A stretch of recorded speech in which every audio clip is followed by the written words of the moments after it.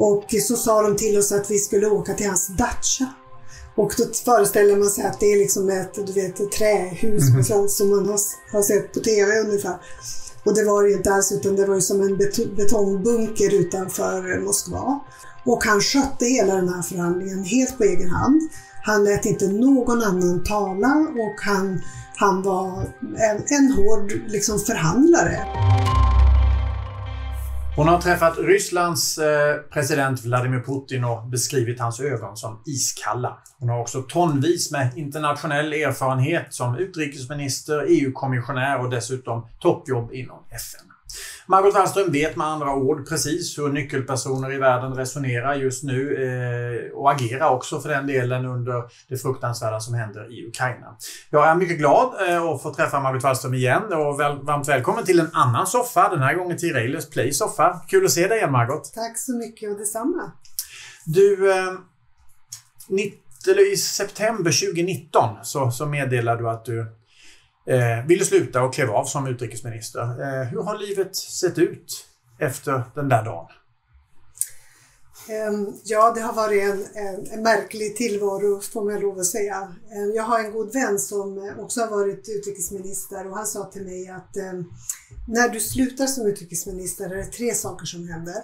Först så blir du helt desorienterad därför att du tappar alla de som har jobbat omkring dig och hjälpt dig med allting från att boka biljetter till eh, att göra din kalender. Så, så du känner dig desorienterad.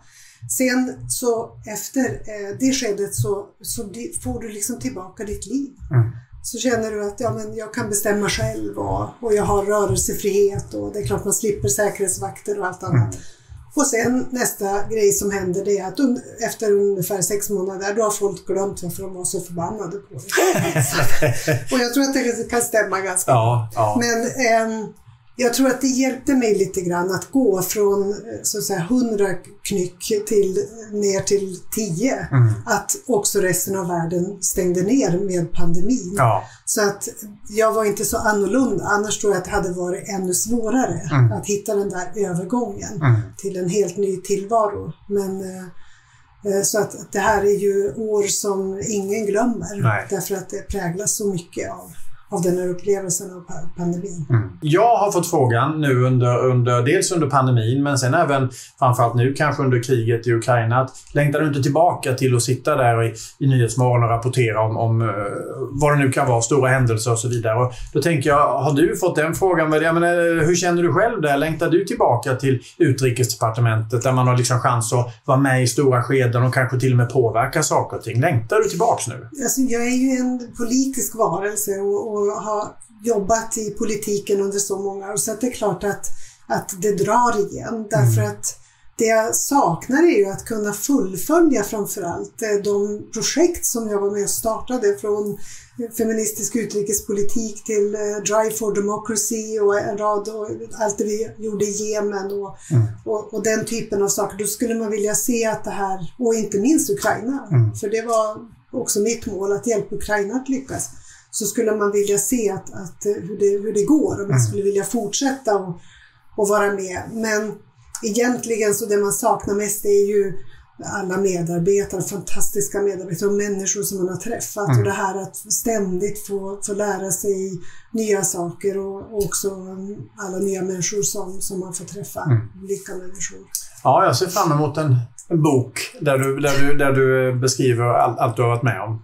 Det skulle vara, tycker jag skulle vara spännande. Kanske. Jag tar så lång tid på mig jag ska skriva någonting. Så att jag, ja, men nu har du jag tid. Jobbar, ja. Ja. Mm, ja. Du, jag vet att du har en stor kärlek till Ukraina och att du faktiskt var där strax innan pandemin slog till i ett litet ovanligt ärende, får man säga. Då. Mm. Du får berätta, vad gjorde du i Ukraina? Ja, det är ju bara drygt två år sedan och eh, jag var där faktiskt och vigde ett par eh, i, i Lviv. Och eh, det var ju en fantastisk upplevelse. Vi hade så trevligt. Det var väldigt vackert väder och vi njöt av att kunna gå på stan i Lviv och alla eh, underbara människor som vi lärde känna där och det var ett, ett eh, så fint eh, bröllop och en härlig fest och dagen därpå så joggade jag faktiskt med mina vakter upp till den högsta utsiktspunkten i Lviv.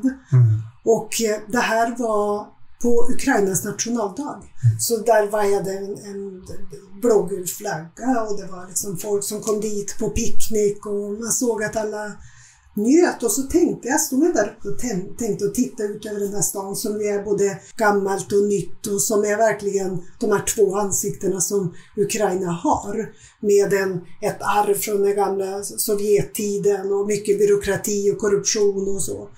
Eh, men det är också ett ungt, nytt ansikte som liksom är vänt mot Europa och mm. med inte minst unga människor som, som vill någonting annat för, för sitt land och som är entreprenörer som är fantastiska. Eh, och, ehm, och då tänkte jag att ja, det går ändå rätt riktning mm. Eh, för Ukraina, kände vi då. Och nu Tänk. ljuder flyglarmet ja. kanske från samma kullar. Ja, det är så hemskt att tänka. I stan. Ja. Du är en av ytterst få svenskar som har träffat eh, Vladimir Putin, presidenten. Och du pratar ju om utrikesminister Lavrov. Honom har du också träffat ett otal gånger. Men, men jag vet att, att, att, du träffade Putin och du beskrev honom som en människa med, med iskall blick. Tror jag du sa något sånt här. Kan du berätta om ert möte, hur han var? Ja, nu, det här är ju länge sedan. Mm. Det här är ju 20 år sedan mm. nästan. Och eh, då var jag miljökommissionär. Och, eh, vi, inom EU då? Ja, inom ja. EUs e miljökommissionär och vi förhandlade Kyotoprotokollet som det hette då, som handlade om, om klimatfrågan. Och det här var liksom slutförhandlingen och då fick jag alltså träffa eh, Putin. Så jag kom dit till Moskva med en delegation från EU och han hade förstås också en, en mindre delegation. Och så sa de till oss att vi skulle åka till hans dacha och då föreställer man sig att det är liksom ett, du vet, ett trähus mm -hmm. som man har, har sett på TV ungefär. Och det var det ju inte alls utan det var ju som en betongbunker utanför Moskva. Och, ehm, men han var ju, vid det här tillfället så var han, kan man säga, formellt artig och, och så. Och han skötte hela den här förhandlingen helt på egen hand. Han lät inte någon annan tala och han han var en, en hård liksom, förhandlare, men det var i alla fall sakligt. Mm. Det, var, det liksom handlade om sakfrågor och vi gick igenom område efter område, men det var helt tydligt vem det var som bestämde. Mm. Och det fanns liksom ingen det fanns ingen, eh, ingenting som smörjde den här förhandlingen alls. Och efteråt så, så minns jag att jag sa just det till mina medarbetare. Jag har aldrig sett en människa med så iskalla ögon. Så det var som att inga känslor nådde någonsin upp till hans, till hans ögon. Nej. Men alltså lyssnade han på den han pratade med? Var, var han mottaglig för åsikter och sådär eller? Jo, då, jo men då var det ju en väldigt eh, eh, sakinriktad diskussion och då kunde vi säga, vi kunde vara överens om en dagordning. Det är de här frågorna vi behöver liksom kompromissa lite om eller, eller bestämma oss för hur mm. vi ska ha det framöver. Så att det var en, det var en sedvanlig, ganska hård förhandling mm. eh, om saker och ting. Men, men det, det, var ju ingen, det fanns ingen värme, det fanns inte det där mm, småpratet som, mm. som det brukar vara. Eh. Men jag tänker på, för det har ju framkommit teorier nu då om att han förändrats under pandemin. Man ser de här borden som är hur långa som helst, avlånga som helst. Mm. Och närheten är ju, det finns ju ingen närhet och sådär. Alltså, vad tror du om det, att han, ja. att han har förändrats? Jag har tänkt mycket på det där. Därför att jag, för några år sedan så såg jag en väldigt intressant dokumentär som jag tror BBC hade gjort. Och de eh, har gått igenom eh, och tittat på och jämfört diktatorer från olika länder, från olika världsdelar. Mm. Eh, och några som vi, namn som vi känner väl igen, Idi Amin och vi, vi, vi känner igen Stalin och andra. Och så har de jämfört och så har de tittat på, har de någonting gemensamt de här eh, envåldshärskarna? Vad, vad kan det vara i så fall? Och då hittar de några drag som, som var gemensamma. Det ena var ju fåfänga. Mm. Och det, det kan ju eh, Putin också visa upp. Man ser att Eh, att de har genomgått eh, skönhetsoperationer, de är noga med håret och hur de framställer mm. sig själva och så vidare. Så fåfängan är genomgående. Och sen så är det förstås att de blir mer och mer, de lider av förföljelsemani till sist. Och det betyder att i slutet har man kanske en eller två personer som man litar på. Mm. Eh, och det finns ju de som har gått så långt så de har mördat egna fam familjemedlemmar därför att de inte litar på dem längre. Så Mm. de blir också mer och mer isolerade. Och samtidigt, det här sker samtidigt som man har liksom en makt, eh, att de blir maktgalna. Mm. Och då finns det inga spärrar för vad de kan göra för att försäkra sig om att de är kvar vid makten. Mm. Och alltihop det här är ju tecken som han också uppvisar. Och Mm. det ser ju ändå ut som om han, han isolerar sig mer och mer på slutet. Mm. Och det, det är i alla fall, jag, jag kan inte bedöma hur Nej. sant det är, men det ser ut så. Och man ser att allt ifrån kroppsspråk till uppträdande blir i en lit, väldigt liten ekokammare. Mm. Utrikesminister Lavrov syns ju också mycket nu. Eh, Det var han bland annat som förnekade att ryssarna skulle ha varit inblandade i de här fruktansvärda morden i Butja till exempel utanför Kiev. Också förnekar, ljuger och jag menar, honom har du mött i förhandlingar många gånger. Ja, många gånger. Ja. Ja. alldeles för många gånger. Så, och det, han är ju sin herres röst här. His master's voice helt enkelt. Eh, Han, han gör som chefen säger och eh, jag tror att eh, Putin är väldigt beroende av Lavrov. Mm. Eh, För att eh, det är ju en person som vi alla som har varit utrikesministrar har fått eh, lära känna under, under de här åren. Och jag var ju i fem år eh, i kontakt med, med honom regelbundet, om det var OSSE eller Arktiska rådet eller EU eller i FN, alla olika sammanhang. Och eh, det är samma sak där, att framföra direkta lögner eller historier som, som de själva har vävt Mm. och eh, framfört till oss. Och, och som kan vara helt verklighetsfrånvända men, men som sagt det är ett sätt att testa oss eh, och se liksom, hur reagerar vi, kan vi säga ifrån? Men trodde du i din vildaste fantasi att Putin sk- skulle kunna starta igång ett, ett stort krig i Europa? Fanns det på kartan på något sätt? Trodde Jag tror att de flesta säger att, att det ville man inte tro. Att, eh, men, vi, men de har ju varit i krig med Ukraina. Det de har gjort i Donbass och det faktum att de, de, de liksom tog Krim från Ukraina, det, det har ju varit tecken. Och jag minns också den otäcka känslan även när man var i Georgien och har sett liksom Transnistrien och Sydossetien och allt det där, hur de har rustat. Mm. Och så tänkte jag, varför, varför gör de det på det här sättet? Som, och det här är ju också signaler hela tiden. Så att det är klart att den misstanken har ju funnits att, att det här skulle kunna eskalera, men inte på det här sättet. Det tror jag inte någon kan säga att de har. Nej. Men, men många kan se mönstren efteråt och Mm. säga att ja, men visst det här stämmer överens med den världsbild som man har och att man vill dela upp världen i intressesfärer. Jag tänker när du var utrikesminister så var ju en stor eh, en käpphäst eller vad man ska säga, någonting som du, som du brann mycket för och som du fortfarande när jag följde dig på Twitter skriver om det här med feministisk utrikespolitik som jag vet att du är stolt över att ni, att ni eh, satte ner på papper och på pränt och, och bedrev, försökte bedriva då. Eh, men nu på Twitter så skriver du också Var är kvinnorna? Ja. Nu när det handlar om, om förhandlingar mellan, mellan Ryssland och Ukraina och så vidare. Var är kvinnorna? Ja, min inställning är ju att det här ska inte behöva vara ett debattinlägg, utan det ska vara det naturliga. mm, Att fredsförhandlingar, och det vet vi av erfarenhet också från FN, de fredsförhandlingar, överläggningar och de fredsavtal som har skrivits under av kvinnor, de räcker längre. De håller längre. Och det kommer upp fler alternativ på bordet när kvinnorna är med. Och hur kan man också i Ukraina, för Ukrainas del säga att, det, att de inte ska vara med i fredsförhandlingar när de faktiskt i Ukraina är en majoritet av befolkningen. Där de har speciella erfarenheter och kunskaper och, och så med sig mm. eh, från, från både krig och fred. Och det är så otroligt viktigt att, att, eh, att de är med. Och de älskar sitt land lika mycket som män. Men det är intressant det där, för att i den branschen som jag verkar i nu eh, så pratar vi mycket om det här med innovativa team. Det vill säga att, att det är så viktigt att, att, att eh, teamen vi jobbar, att det ska vara från olika kulturer, det ska vara män och kvinnor blandade och så vidare. Och när det är eh, innovativa team, då ökar idérikedomen, eh, lönsamheten ökar och, och projektens kvalitet ökar. Det är ganska intressant det där. Och, liksom, och och ändå så brottas vi fortfarande med frågor om, om, om kvinnor som inte finns med på olika scener när man vet de här sakerna. Jag tycker det är, det är ganska intressant. Makt. Mm. Det är en fråga om makt. Och um, då vill förstås många män inte dela med sig av makten men här kan man enkelt eh, utöka delegationer också för att se till mm. att det också finns kvinnor vid bordet. Ja, jag tror att det skulle kunna bli helt andra diskussioner mm. om man lät kvinnorna vara med också och titta på hur de eh, också får betala ett väldigt högt pris. Nu, nu får vi rapporter om sexuellt våld också i, i Ukraina. Mm.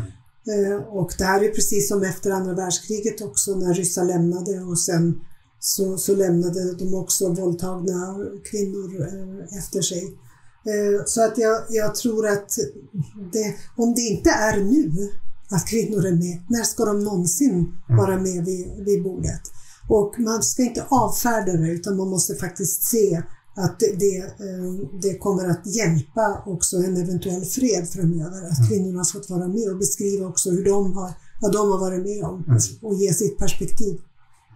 Om vi tittar på då, om vi får kalla det motståndarsidan, eller det är det ju inte riktigt, men jag tänker på de som reagerar i västvärlden. Jag menar, du har ju varit EU-kommissionär. Det är ju liksom det, högre upp än så kan man ju inte sitta inom EU. Du är i två omgångar var du dessutom kommissionär. Eh, och då tänker jag, EU har ju oftast anklagats för att vara ett slukhål med pengar och det är byråkrati och vi lyckas aldrig prata med en röst och så vidare. Mm. Nu ser vi en helt annan sida av EU.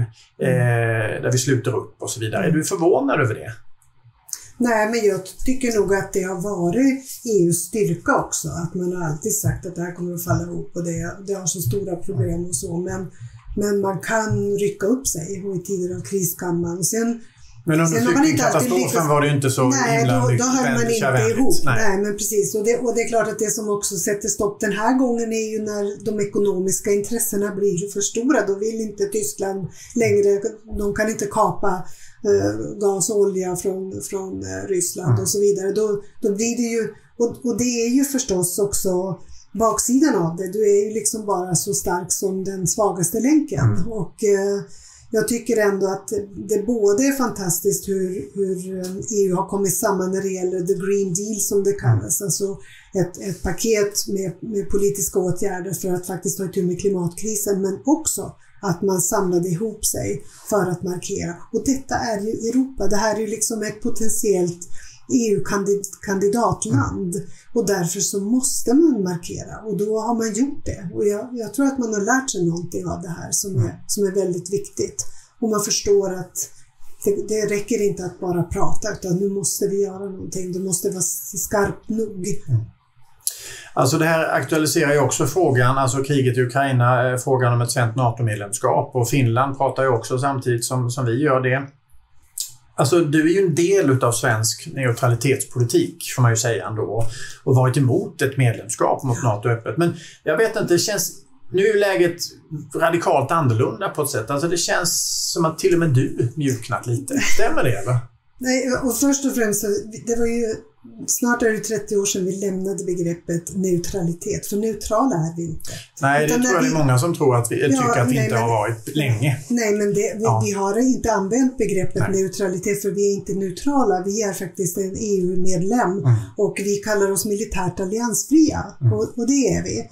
Um, men jag tror, jag tror så här, jag tror att för det första så handlar det om att vi måste ju bedöma, och för en regering så handlar det om att bedöma, hur ser hotbilden ut? Vilka hot är det mm. som, som vi kan se framför oss? Ja, just nu är det väl ganska tydligt. Kanske. Ja, men är de ett hot mot Sverige? Alltså, är det så att vi kommer att bli indragna? Tror vi att det kommer att vara, har vi hot av en invasion eller är det själva verket cyberangrepp som vi, som vi ska, vad är det vi ska försvara oss mot? Mm. Och hur gör vi det bäst? Och vi har ju alltid trott att för det första ska vi ha ett starkt försvar, det har jag aldrig varit emot. Jag menar att vi måste försvara oss och det, vi ska, kan kombinera det med just samarbeten. Mm. Eh, och då är det med våra grannar, det är förstås både EU i första hand och det är också FN och resten av världen. Och det här har liksom tjänat oss väl under en tid när det också var avspänning. När Ryssland liksom gick att prata med och när man när till och med Ryssland började prata om att gå med i NATO, mm. i alla fall vara en, en partner. Mm. Då var det, och då, så, var det, ja. då var det lätt att göra det också. Men nu är det nu en helt annan verklighet. Ja, det är det. Och det är en helt ny verklighet också för NATO och för OSSE och så. Mm. Därför att nu ser ju geopolitiken annorlunda ut. Mm. Hela vår, vårt säkerhetssystem ju byggt på den här konflikten mellan USA och Ryssland. Det är uppbyggt efter det. Och nu ser det annorlunda ut. Nu har vi en tredje spelare som är Kina mm. och som kommer att, tror jag, välta det här delvis. Och jag, jag är fortfarande väldigt, jag har en, en rad frågor som är skeptiska också när det gäller NATOs roll. Mm. Därför att kom ihåg, det var ingen som ville gå med i NATO när Trump var president i USA. Då var de rösterna väldigt, väldigt svaga eh, också i Sverige. Och det var en intern kris förstås. Men det var väl delvis för att Trump också inte tog det som självklart att man Nej. skulle rycka in om det hände något Nej, men så, så, är ja. det. Och jag menar, han kan tyvärr komma tillbaka. Mm. Och tänk om det skulle sammanfalla med att vi ansökt om att, bli medlemmar. Vad, vad skulle vi tycka om det? Men det är en sak, men jag tycker också mitt i ett brinnande krig är inte rätt läge att säga så här, nu ändrar vi helt och hållet vår säkerhetspolitiska bas och, och de element som vi ska ha i vår säkerhet. Det är inte rätt. Just nu ska vi hjälpa Ukraina så mycket vi kan. Just nu ska vi samarbeta med alla andra. Just nu ska vi stötta det som är sanktioner och annat som det internationella samfundet gör. Och vi ska ge oss tid att granska alla argument också kring, kring NATO och samarbeten framöver. Och vilken roll ska EU ha? För kanske men, är det så att EU kommer att ha en större roll. Men har det inte också blivit ganska tydligt att, alltså, låt oss säga att Ukraina hade varit en NATO-medlem. Då finns det ju något som heter artikel 5 i NATO som, ja. som säger att om ett NATO-land blir angripet så kliver NATO in så att säga. Ja. Eh, är inte det ganska tydligt då om du är medlem eller icke medlem?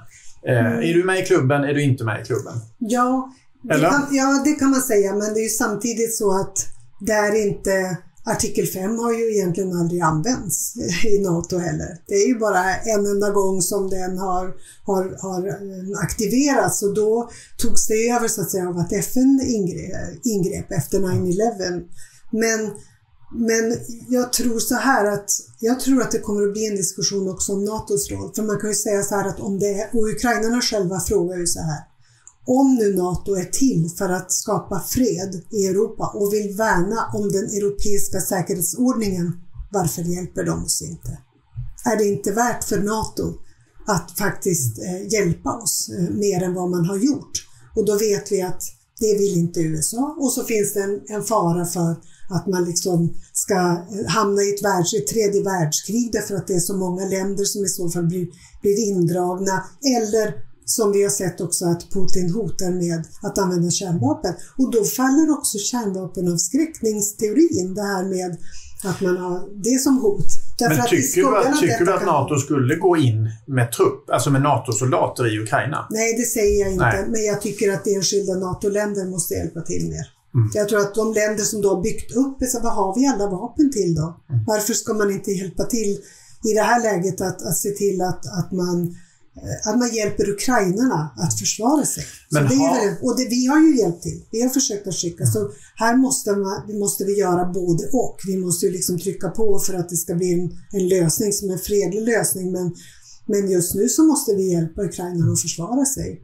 Men till den ursprungliga frågan igen då. Har du mjuknat lite i ditt NATO-motstånd? Nej, jag, jag, egentligen jag har sagt så här att jag tycker det är fel tillfälle nu. Jag tycker vi måste granska alla argument och jag tycker att alla har rätt att förstå också vad det är man ska, liksom vad, vad, hur ska vårt försvar, vilka hot är det vi ska försvara oss mot? Men jag, jag, är ju realist. Jag kan ju se att det handlar ju mycket om hur Finland gör också. Inte så att vi ska, vi fattar ett eget beslut. Och jag tycker att vi just därför också ska, ska hävda att vi behöver mera tid. Därför att kom ihåg en sak, om vi gör det, om både Finland och Sverige gör det, då kan vi nog räkna också med retaliering från, eller då kan vi räkna med att, att Ryssland markerar. Jag tycker inte att vi ska utsätta oss för, för fara, våra befolkningar för fara just nu när det är mitt under brinnande krig. Men låt oss säga att Finland då beslutar att skicka in en ansökan. Har vi något val då egentligen? Alltså, ja, det är klart vi har ett val, men jag menar liksom... Ja. Och, och det är kanske lättare för oss än för Finland. Mm. ja, de har ju en ganska lång eh, De, so- de gränsdragning. sover med björnen Ja. eller lever med björnen. Mm. Så att de, för dem är det ju en helt annan sak. Men det kommer att påverka oss och det är viktigt att vi har den här samsynen på liksom vårt område och vad det är som. Så, Och så råkar det sammanfalla med att det är ett valår i år också. Ja. Eh, där det här kan bli en valfråga. ja, det, det kommer förstås att finnas med i en valrörelse. Ingen vill ju ha det därför att det borde ju vara så att vi söker enighet kring vår säkerhetspolitiska linje också. Mm. Och det är ingenting som man liksom ska vinna med en rösts övervikt. För tänk dig själv alltså att befolkningen ska liksom delas upp i, i, i två läger här som ska... Det, det är ingen bra lösning. Det, det, det ger oss inget bra skydd helt enkelt. Men, men visst kommer diskussionen att finnas med under lång tid framöver. För hur kommer det här att sluta? Vad är det för, för granne vi kommer att ha där borta? Ja, det var min nästa fråga. Om vi, om vi träffas här om ett år, Ja. vad, vad tror du vi har för... Hur tror du det ser ut då? Nej, inom ett år måste det här vara över, absolut. Eh, Men eh, Ja, dels krig får vi verkligen Krig, ja, hoppas. men det det får vara slut idag om det. slut, Så, ja, ja. ja. Men jag tänker på den här du pratar om den här nya järnridån så att säga. Som, alltså, hur tror du relationerna mellan öst och väst kommer att... Hur illa kommer det vara? under generationer framöver så kommer det att vara så mycket smärta och hat och, och, och sorg som kommer att prägla. Alltså hur ska någonsin ukrainare och, och ryssar kunna samtala ens med varandra? Det, det, här, det går inte att säga någonting annat. Det kommer att, att, att skada så enormt. Eh, det, det är liksom grannskapet. Och, eh, och det är ju väldigt illa. Men det är ju också illa för resten av världen att om vi ska fortsätta att handskas med en, en Putin som är liksom maktgalen och, och eh, utrustad med, fortfarande med de värsta av massförstörelsevapen. Det är ingen bra lösning. Mm. Men, men det är en helt ny geopolitisk eh, eh, verklighet. För nu är det inte bara två länder liksom som, som är emot varandra, utan nu har vi tre stormakter att hantera. Mm.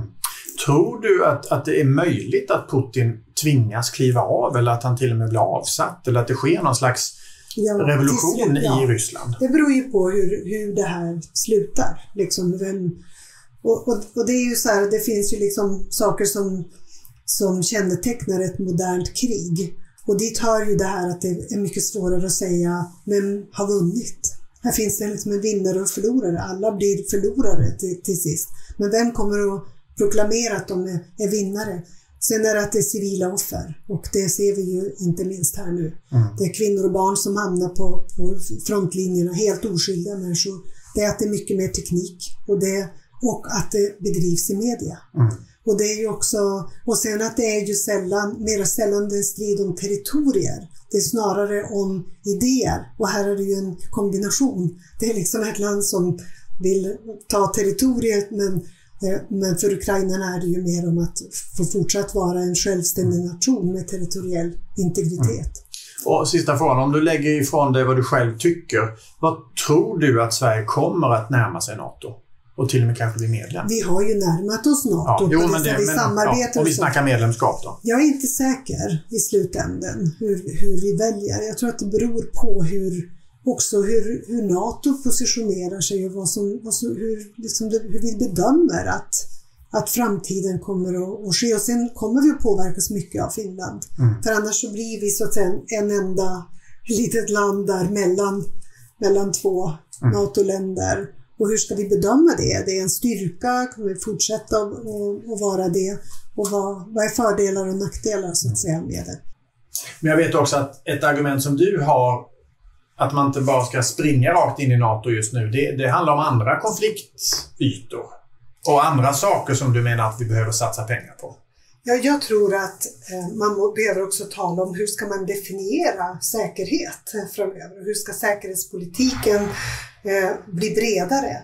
Därför att eh, säkerhet är ju så mycket annat. Det är ju också cyberhot och hybridhot och det är faktiskt det hot som kommer av, av eh, klimat, effekter av klimatförändringarna.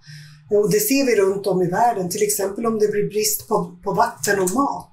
Då skapar det först social oro, sen går det till konflikter och kan bli till, till krig. Och vi, dessutom kommer det att bli bråk om resurserna. Hur ska budgetpengarna och budgetmedlen räcka till både vapen och eh, klimatkrisen och flyktingmottagande och alltihop där, välfärden. Allt det vi lovade under pandemin som vi skulle ändra på. Så att det, alltihop det här behöver vi ju tänka igenom ordentligt. Mm. men det, det håller jag med dig om, men samtidigt om man har ett akut överhängande hot om, om att det pågår ett krig eh, ganska nära Sverige, måste, alltså, blir inte det hotet mer akut än det andra då på något sätt? Tror jag att många tänker just nu. Ja, men det är ju också ett väldigt överhängande hot eh, eh, från klimatkrisen kan man säga. Det vet vi, att det kommer att kosta oss väldigt mycket att bygga om system i, i samhället. Men visst är det så att vi alltid måste vara beredda på att att försvara oss om det skulle vara ett direkt hot mot oss eller att som nu hjälpa Ukraina självklart och då måste vi kunna ta fram pengar. Men tar vi på oss också att, att bli NATO-medlemmar då vet vi ju att det åligger oss att, att ha en, en viss nivå på, på eh, så att säga, det militära, de militära utgifterna. Och mm. det, det, då får vi betala för det. det. Det kan vi inte räkna med någonting annat. Tack Margot för att du kom hit. Det var jättetrevligt att träffa dig igen. Eh, härligt att höra att du är på benen, både bokstavligt och bildligt talat. Eh, och, eh, Kul att träffa dig Margot, att du var med i eh, Play. Eh, håll utkik efter mer eh, intervjuer på Railers Play. Vi finns ju också som podd numera. Då heter vi Nytänkarna. Det är samma intervju fast i poddform då, så missa inte avsnitt på Nytänkarna heller. Tack för att ni tittade och var med. Hej då!